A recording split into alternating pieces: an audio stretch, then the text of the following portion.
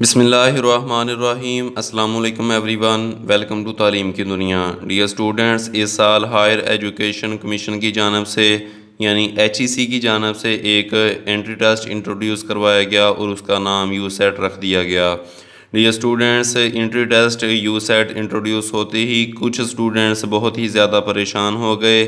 کہ اس سال ای کیٹ بھی کنڈکٹ کیا گیا اور باقی انٹری ٹیسٹ بھی کنڈکٹ کیے گئے اور یو سیٹ کی کیا ضرورت پیش آئی۔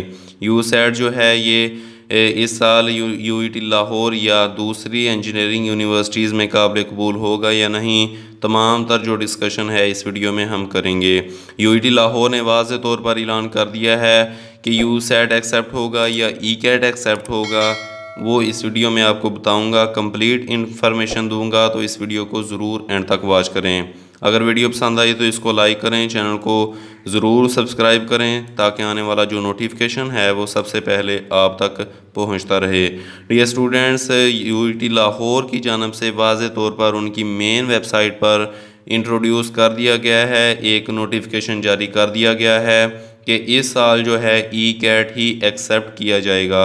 Only ECAT is mandatory for admission to all public sector engineering universities of Punjab یعنی اس سال ای کیٹ ہی ایکسیپٹ ہوگا یو سیٹ ایکسیپٹ نہیں ہوگا۔ یہاں پر آپ واضح طور پر دیکھ سکتے ہیں کہ U SAT is not required تو اس کا مطلب یہ ہے کہ تمام سٹوڈنٹس کی اب کنفیوژن دور ہو جانی چاہیے کہ اس سال یو سیٹ جو ہے وہ ایکسیپٹ نہیں کیا جائے گا، صرف ای کیٹ پر ہی ایڈمیشن کا اعلان کیا جائے گا۔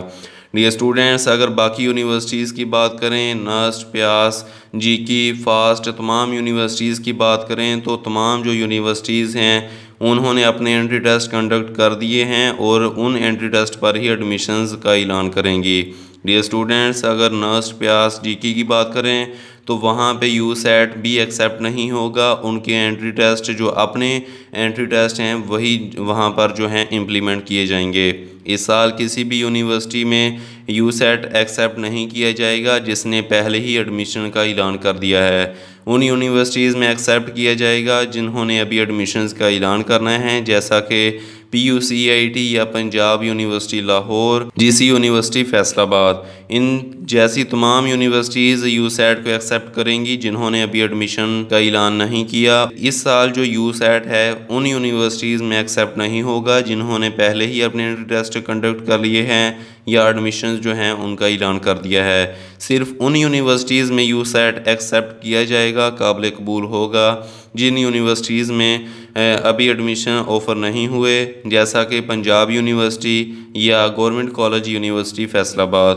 ان جیسی تمام یونیورسٹیز جو ہیں، یہ یو سیڈ کی بیس پر ایڈمیشن کا اعلان کریں گی، نہ کہ یہ اپنے انٹری ٹیسٹ کی بیس پر ایڈمیشن کا اعلان کریں گی۔ تو امید ہے کہ تمام سٹوڈنٹس جو ہیں، ان کی پریشانی ختم ہو گئی ہوگی۔ ملتے ہیں اگلی ویڈیو میں، تب تک کے لیے اجازت دیجیے اللہ حافظ۔